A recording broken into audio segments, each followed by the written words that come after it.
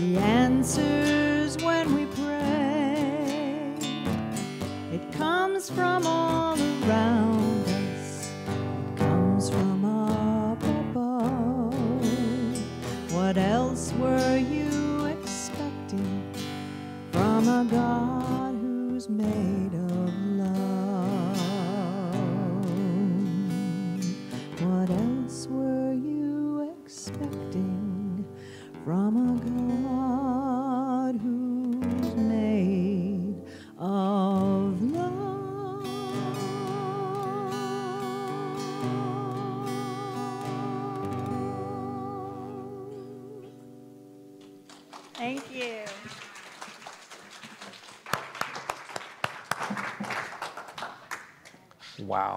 Thank you, Lissy. I don't know that we need to say anything else, but I'm going to. you guys know I'm going to. Well, good morning, everyone. Morning, Tommy. I see your nose is above water. Thank you, God. For any of you who might have had a little water damage, I, um, I will hold you in prayer for sure with that. But certainly do let us know if there's any, any needs that anyone has out there that uh, we can help with. And uh, you know, make us aware. Don't, he- don't hesitate to ask. Prayer box, yeah, definitely put it in the prayer box, but also just let us know if there's something of, other than, even more than a prayer that we can do as, as a service that we can help you with. We know how to do building. We do, we do. We've helped people a lot with that. and It's been a good thing. Well, you know, I've been uh, thinking about and praying about what I wanted to, pardon me a second. Ah, thank God for water. Wow. Yeah. And thank uh, Laura for showing us how well Lake Travis is rising up. And you guys see the post that she's done, it's pretty, it's, it is a blessing. It is a blessing to have the rain, but we, we just didn't expect it all at once. So, so I've been think, thinking about and praying about what it is I wanted to share with you guys. And I, I kept coming back to, um, and, and actually I remember someone asking about this some time ago, and I made a request to uh, uh, talk about how we build authentic community and also authentic relationships. And um, you know, and it's a, it is something that I think is an important part of a spiritual community is to learn the practice of that. And it is not always an easy thing, to be perfectly honest, because we've been taught how not to be authentic, haven't we? We've got, got a lot of good lessons about putting on our game faces. Fact, we were just driving in this morning, and there was a little uh, notice. Uh, there was a, a thing on NPR about putting on your game face. And, and sometimes when we have things going on, we've been taught to put on our game face. And also, we have um, ways that we are and we show up with each other that, um, that you know, we're, we're not really in a place where we're really being, uh, hearing our own heart, you might say. Last week I talked about this idea a little bit about, you know, tuning into the energy and the intelligence and the wisdom of the heart. And part of the wisdom of the heart is recognizing there are times when you're in your heart space that your heart is where you really feel. And it's where you really feel what's going on. And it can be sometimes very uh, challenging to feel what's going on, can it? Sometimes we are really taught that, you know, well, just, you know, put it aside, stiff upper lip, and move on kind of thing. But there are times when we really do need to be open and honest with ourselves and with each other. And there are times that uh, in any spiritual community and in any relationship, there are going to be conflicts. And that's part of the thing that I wanted to talk a little bit about today. One of the things that we adopted in this community shortly after I came here, and I've actually uh, in, invited and encouraged the adoption of this in every unity group that I have been the minister of. And I came across 12 principles for agreeing and disagreeing in love. And they are principles that are, based upon spiritual teachings and biblical principles. And my understanding is they originally came out of the Mennonite church uh, for the Center for Peace and Justice. Those of you who may not be familiar, but the Mennonites have been very active in, in working in the peace community. And they're very practical, practical steps for for how we can be in relationship with each other as a community, but they're also very practical steps I find, if we will practice them, in our love relationships, in our family relationships, in our uh, work relationships. If we will use some of, if we will use these principles, we'll find ourselves being able to be in an energy and a consciousness of connection with people on a much deeper level and a much more honest level, in a way that will allow us to let our own light shine and at the same time be able to support others in helping them to grow and develop in their own way and how they themselves can experience more of the presence of God within themselves and each other. Well, you know, I always like to have stories when I start off and talking about relationships. And there was uh, one morning there was a terrible snowstorm. And so uh, there was a mother of three small children, and she was outside shoveling the snow on her driveway. And a neighbor was also shoveling snow, and he, he noticed at the same time, he yells out to her, he says, You know, why, why isn't your husband outside helping you with the chores and helping you? Um, shovel the snow? And he says, well, she said, we, you know, we have someone needed to stay inside with the children. And so, um, so we decided we would draw straws to see who would, you know, go out and shovel and who would stay inside with the children. And she says, oh, I see. So the neighbor said, well, I'm really sorry about your bad luck. And she said, what are you talking about? I won.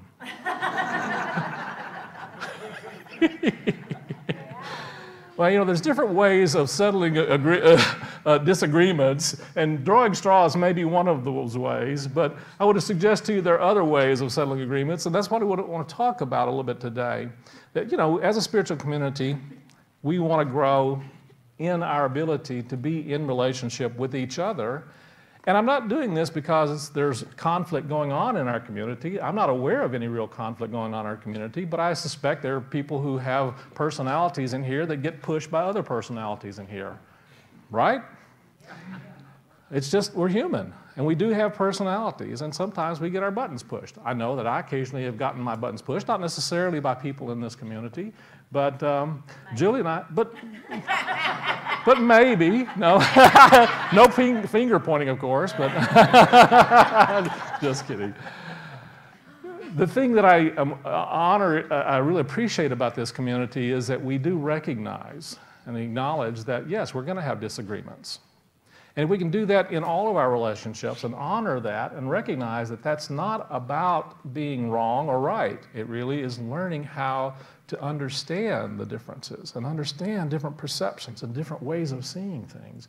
And that every one of us has a different way of understanding, and we're all standing in different places, so we have different perspectives. And we can recognize and see those perspectives, we will find that we have a much wholer perspective in life. I came across another wonderful story I love uh, about a woman sitting in an airport and she was getting ready to take a red eye flight and she was kind of tired and it was around midnight and so she was hungry so she went to one of the little shops and bought herself some cookies and she sat down and uh, opened her handbag and, and was searching in re- for her book to read and a man sat down next to her. The next thing you know he opened a box of cookies and was eating one of them well, this kind of upset her a bit, you know. Uh, but he thought, well, he's only he only ate one, you know. That's no big deal. So, but then he took another one. So she said, well, and then she took one and ate it. But rather than getting, you know, in a row with him, she just decided to let it go. And and uh, he took another one, and then she took another one, and he took another one, and she took another one. And then finally, there was one last cookie, and he held it up and said, "Would you like to share it with me?" And she got mad, just was like, What do you mean? And so just grabbed it and ran into the plane as it and boarded the plane. And as she got on the plane, she was settling in and decided she, oh, she was still pretty upset. She was, you know, how, you know, how dare this guy, you know? What? And so she reached in her bag to get her book and discovered her box of cookies.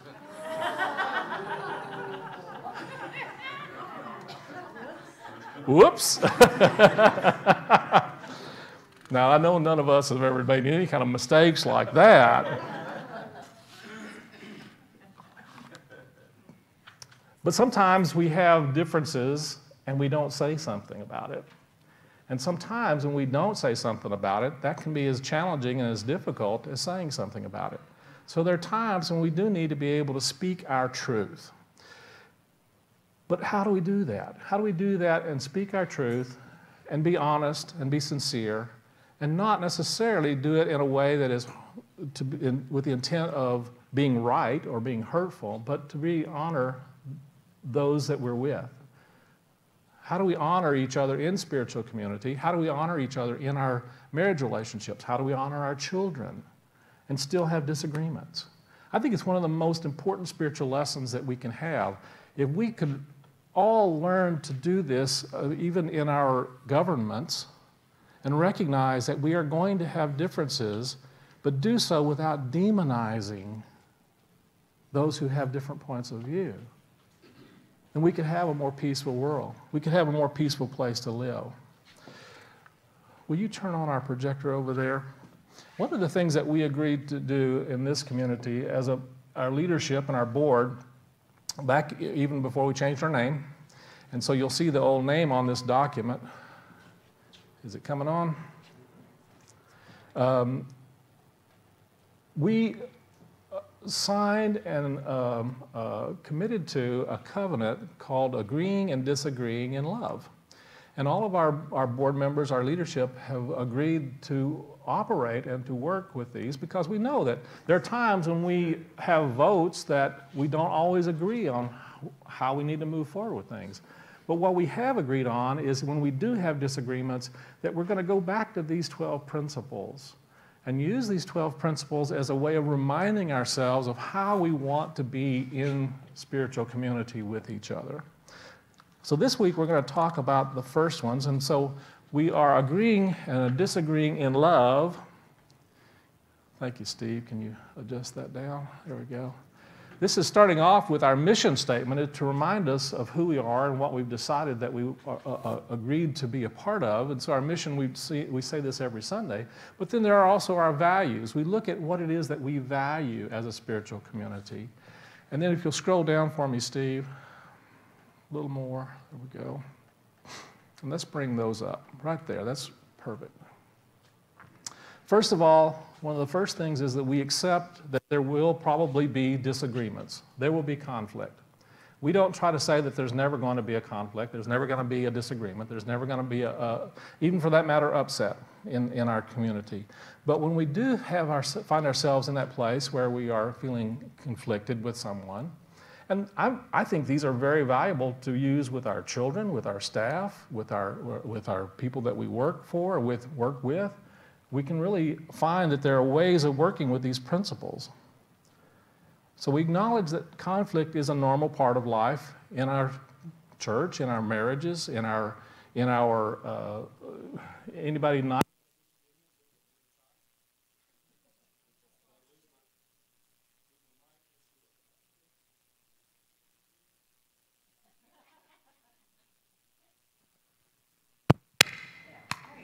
Testing, one, two, three. All right, there we go. See, we're back in agreement here. All right. In Romans chapter 14, verse 1 through 8, Paul writes, Now receive the one who is weak in faith, and do not have disputes over differing opinions.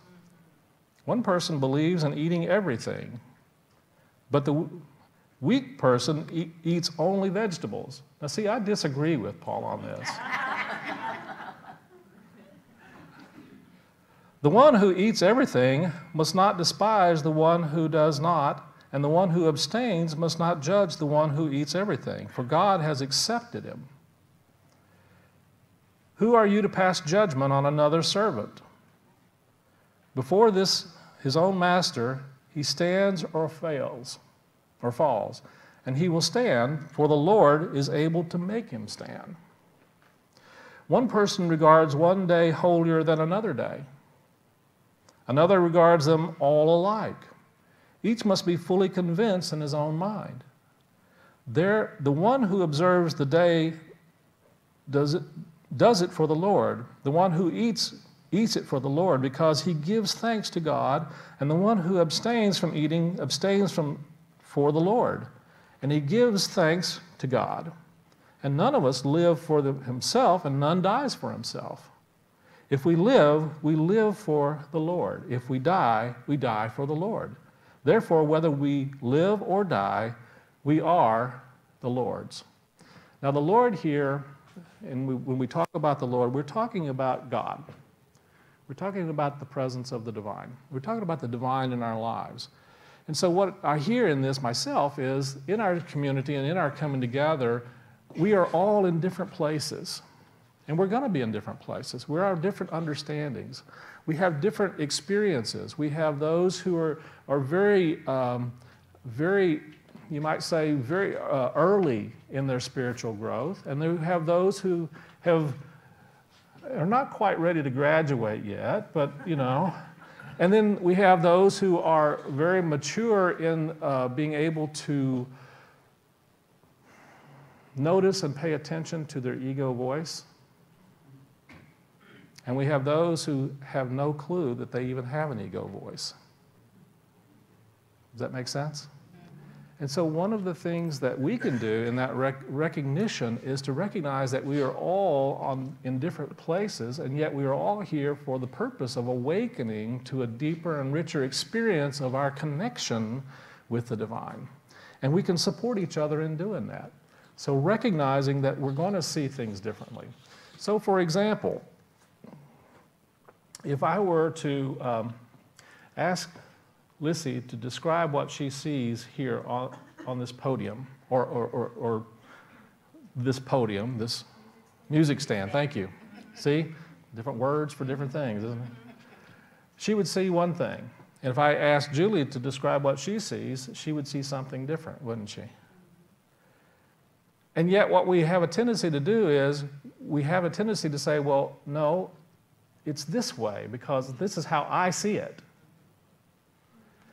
One of my good friends, Dr. Gary Bettis, taught me a wonderful little trick that he does in, in doing counseling with uh, couples. And one of the things that he does is he has a couple in this counseling session, he will ask them, he'll have maybe the husband to say, Okay, I want you to imagine that you're in the front of your house, looking back at your house. And I want you to describe that house to me.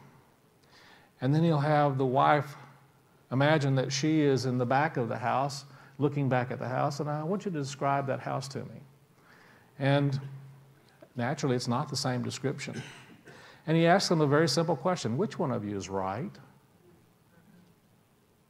Which one of you is right? The reality is we have both we all have different points of view. And if we become attached to our point of view, then we find ourselves in conflict. We find ourselves challenged by thinking that our point of view is the only one that counts or the only one that matters, or thinking that our point of view is the right one. So I came across another little tidbit about difficult people.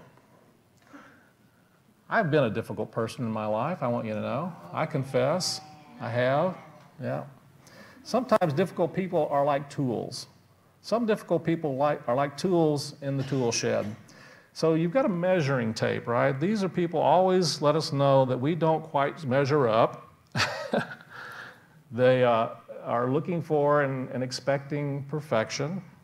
But their purpose is in our lives is not necessarily to try and get us to measure up to their standards, but to ask us, let us find out what, we, what are our standards? Where do we come from? Where are we in life? In short, if we judge people by our standards, we can bet that we're not measuring up. Let me say that again. If we are measuring someone by our standards, it's we who are not measuring up because we're not recognizing and honoring that everybody has a different way of looking and seeing things and understanding things. Another one is a hammer. Now, we, there are hammers in life. Right? These people are as subtle as a freight train. they push their agendas on others and force their will. Everyone walks on eggshells around a hammer because we never know when the hammer is going to come down.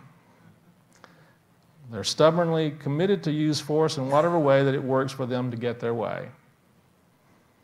Some people are like skill saws. You know, they just They just say the thing that will hurt the most. They have a great ability to cut to the quick and leave others bleeding on the floor. Skill saws win verbal arguments every time, not because they're right, because they know where to cut. Uh, these are all describing not just people, but ego states of consciousness, I would say. In fact, it's a better way of understanding this that this is a, actually probably something within every one of us to some extent. And, and it's something that we um, can learn from. Now, there, then there's vice grips. Vice grips, you know? People who get a grip and don't want to let go. They're extra needy, usually squeeze the life out of us. They, they uh, have no clue when it comes to social and relational boundaries. They bounce from one crisis to the next, needing constant support and encouragement. They don't care about the relationships in our lives. Our attention must be focused on them. And then there's the grinders, people with explosive personalities just waiting to go off. and then there are the axes. The ten, they tend to be negative, always grumbling and looking for ways to tear down the hopes and dreams of others. And then there's the hatches. They take smaller chops than an axe, but hold on to past hurts and grudges much longer. They don't know how to bury the hatchet. And then there's the putty. People who have no backbone. Enter, they are eager to please and always agreeable. We never know who they really are or what they really think. So, when we think about this, it's, the way this is listed, it's listed as people, but I think this is actually a valuable list for us to look at, our, at ourselves. Am I being an, an axe at times? Am I being putty Am I being uh, uh, like uh, a skill saw? So, when we're working with moving back into a place of agreeing and disagreeing in love, we have three steps that we look, uh, the first three steps we're going to work with this week. One of the things that we want to be able to do is affirm the truth. We affirm the truth of ourselves, we affirm the truth of the other as we affirm the truth of the other, we're able to see beyond the personality. We're able to see beyond our differences. We're willing to take that step and say, wait a minute, this is another spiritual being. This is a spiritual being living in a spiritual universe governed by spiritual laws. Sometimes, in order to do that, we have to say that for ourselves first. We have to recognize the truth of who and what we are. See, the reality is when we get into conflict and we, we feel like we have to, uh, uh, we have to be right, who do you have to be in order to need to be right? Let me say that again. Who do you have to be in order to need to be right? So, if you have a need to be right, you can almost guarantee, no, I'm going to take that even stronger. You can guarantee that you are feeling not right.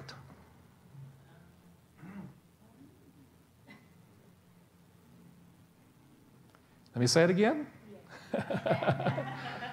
if you have a need to be right, you are feeling not right and you're trying to get the other person to agree with you so that you can feel right. And so you're trying to get your needs met of being right, and the, the reality is you don't really need to be right. None of us really needs to be right. What we need is to be true. And to be true, we need to be true to ourselves to that Spirit of God within ourselves, and we need to come from a place of reality and truth and be able to speak that truth from the heart and be able to express the truth of who and what we are without the need for anyone ever to change. Oh, wait a minute. See, if we need someone else to change, why do we need them to change? So we can be right? right? Yeah. So if we need someone else to change, in order for us to tune into the truth of who and what we are, what are we really doing? Are we making that other in some way our deity? Are we trying to get them to be a certain way so that we can feel a certain way? So the reality is, the more we come from a place of centeredness within ourselves and really able to honor that Spirit of God within ourselves, it allows us then to look to the other and recognize that there is a presence of God within that other person that is looking at life and seeing life from two different perceptions and two different perspectives. And the eyes of the divine become even wider. And you can see that there is an inclusion that we can participate in that allows us to see even more than we see with our own physical eyes. We can have a different perception. We can actually take on the view and the eyes of this other person and look at the house or the podium from a different perspective and say, oh, I see what you're talking about. I don't agree, but I can see where you're coming from. You can disagree and still have and hold your perception and say, well, my perception works for me. I see things in a way that really work for me. And if it doesn't work for me, I have a choice, don't I? I have a choice. I have a choice to see differently, to see the, myself differently, to see the world differently. In Matthew chapter 5, verse 9, Jesus said, Blessed are the peacemakers, for they will be called the children of God. Blessed are the peacemakers. So, our work is really to bring about a, a place where we can see from a, a, larger perspective and see each other in a different way, to see the truth of who and what we are, and recognize that everyone that we deal with and come in contact with is there to show us how we can expand our own energy and awareness of the truth. And then the third step that we look at is that we commit to pray. We pray, we examine where we are coming from and release our need to be right. Release our need to be right. You know, we may be right, but if you have a need to be right, you're not.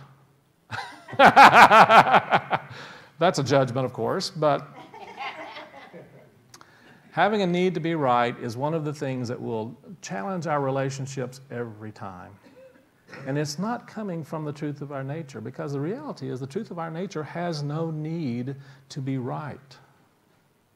Do you realize that? Our spirit has no need to be right. Our spirit is whole and complete and true. There's a truth within you that is so much more important and more valuable than being right. You know, the Course in Miracles tells us would you rather be right or happy? There is a choice. Some people say, well, I want both.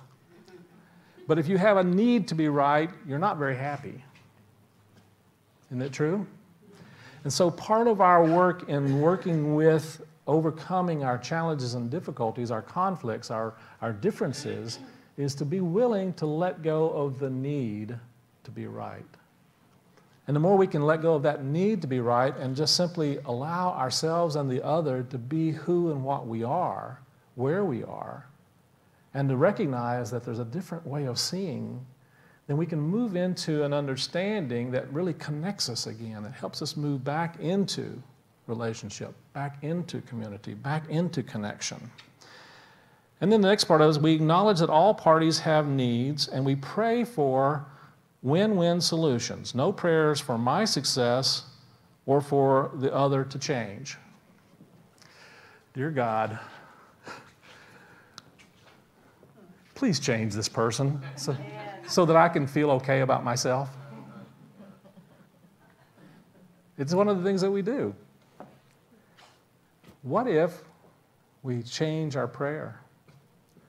Please help me to see differently. Please help me to change and release my need to be right. Please bring about the highest and best for all concerned. Please bring about an understanding that lifts us both into a different experience in our relationship. When we pray for another in unity, we have a very clear idea and awareness about what we've learned is in a very effective way of praying. It's called positive prayer. It's not a begging and beseeching, it is really a holding and awareness of the spiritual well being and wholeness of the other. It's lifting that person in our own thoughts and feelings to another level. We have a tendency to do just the opposite, oftentimes in relationships. We tend to put our thoughts toward finding where everybody else is wrong, or finding their faults, or finding where they don't meet our expectations. And in the very act of doing that, we are creating separation. We are dissolving relationships, we are harming community. But in the very act of turning that around and using that same faculty, interestingly enough, we use the same faculty of imagination, of faith, of love, and care and compassion. If we use those in that way, combine it with that love, care, and compassion, it's easy to see that everyone that we are working with and dealing with is there to help teach us how we can bring out more of our own light. They're there to show us how we can shift that energy and lift each other into another experience of wholeness and to see each other from a, a, more loving place and see each other experiencing the blessings that they wish to have for themselves. See them experiencing the healing that they want to have. See them experiencing the prosperity they want to have. Well, this works in our spiritual community. It works in our, our, our family relationships. It works in our, our, our partner relationships. It works in our work relationships. So these are some of the tools that we have available to us, and they're based on very sound principles, very sound spiritual principles that were discovered actually thousands of years ago in the very early times of the Christian church and even beyond, because many of these things that were taught came out of the Jewish culture. So in uh, James chapter 5, verse 16, Paul says, So confess your sins to one another and pray for one another so that you may be healed. The prayer of a righteous person has great effectiveness. The prayer of a righteous person has great effectiveness. So, a righteous person is one who is coming from a place of alignment with their own true nature. And if we're coming from an awareness of alignment of our own true nature and we hold another person in that light, there's a great effect in bringing about a healing. There's a great effect in bringing about change. So, these, you know, there's a little homework for us these are wonderful little, little reminders of how we can really, one, be in this spiritual community and support each other. And I bring this into uh, every ministry that I have come into, and it's really worked extremely well.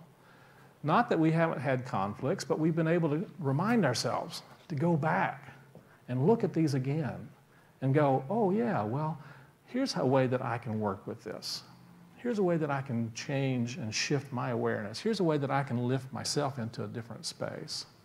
Here's a way that I can see things from a different place. So I invite you to take some time. This is out on our website. If you'll go on our uh, Unity website and look under About, and it'll have a listing of the Agree and Disagree and Love, and you can click on a link and you'll pull it up. This one is actually one that we signed back in 2012, and our new leadership and board will be invited to sign a new one. And you're invited to join us in working with these principles in our spiritual community, but also just notice those and your own relationships in life and how they can actually help you to, to remind yourself of how you can come into and deepen and strengthen your own authentic relationships. When we talked about confessing our sins, sin really is basically an error of awareness we talk about that as just being vulnerable, being honest, being sincere, being clear with who and what we are. I love the sincerity of Courtney this morning and just sharing where she was coming from, and Jude, and, and how he talked about how people could share what they needed to share. And I think we can enhance that building of community and love and acceptance in this way. As we move into our meditation time, move into a comfortable place. You may want to take a moment, and if you have something in your laps, gently set it aside. Take a nice deep breath and gently let your eyes close. Let your awareness move into your heart space. And as you breathe in and out through the heart space, notice if there's any conflicts that you have within yourself. Any conflicts that you might have had with another person. And just notice and be open and receptive to feeling and seeing things differently.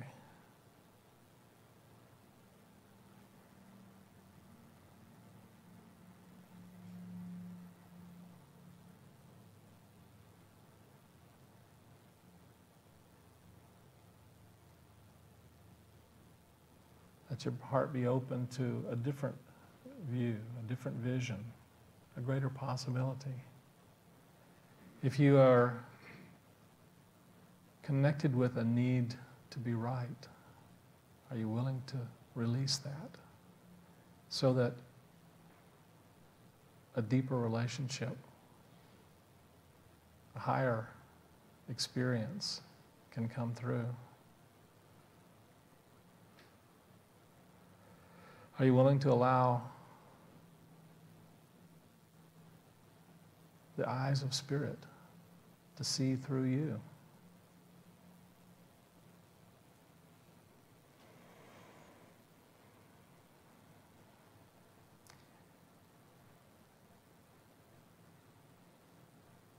And now, are you willing to see this other as a child of the divine?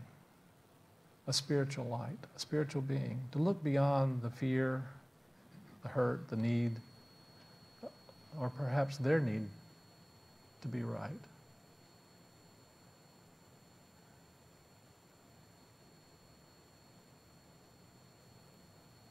Are you willing to experience a win win?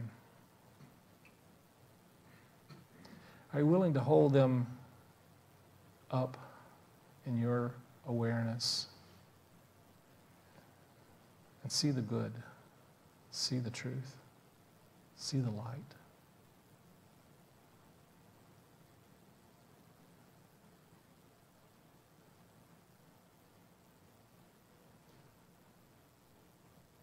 And in your heart and mind, know that the Spirit of God is working in and through you to shift the energy, the consciousness, the feelings, the experiences in that relationship and a greater good is unfolding.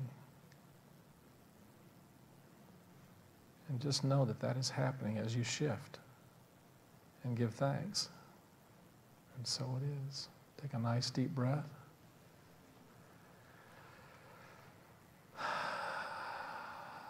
Take one more nice deep breath. Let that energy of the heart expand and give thanks for the healing that's taking place even now. And one more nice deep breath and let your awareness come into this room, this time and place. Be here and now, present.